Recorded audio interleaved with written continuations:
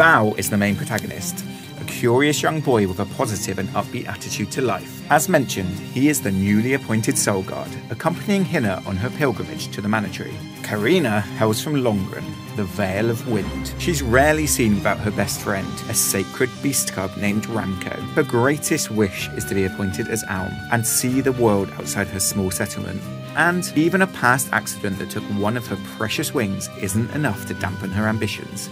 Morley hails from Ettern, the moonlit parish. But since childhood, he has carried the weight of a terrible disaster in his hometown on his shoulders. After meeting Val and the others, he finds himself able to face his painful past. Palamena is the young queen of Illystana, capital of the deep. She succeeded the throne following the death of her father. Since then, she's been navigating her way through Illystana's societal expectations and turbulent politics. Julei is a Sproutling, and the current custodian of Verdius Borough. Julei has been whiling away the hours with the same old chores day after day, but an encounter with Val and the team brings some unexpected changes to his life. Hinna is Val's closest childhood friend. When she receives the honour of being chosen as the of Fire for this year's pilgrimage, she's ecstatic at the chance to travel together with him. Hinna is not directly playable, but will support Val and the team in battle from the sidelines. She's not the only support character either. There will be plenty more to meet along your journey.